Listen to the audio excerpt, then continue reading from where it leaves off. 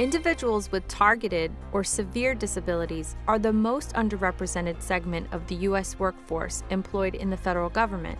In 2006, the Department of Transportation established a goal to increase the hiring of this underrepresented but well qualified and capable workforce population by 3% each year.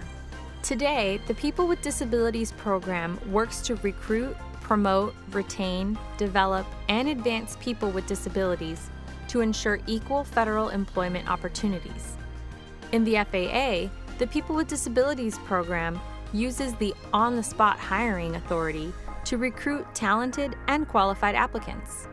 The on the spot special appointment authority is a non competitive hiring method for managers to fill vacancies with qualified candidates with disabilities.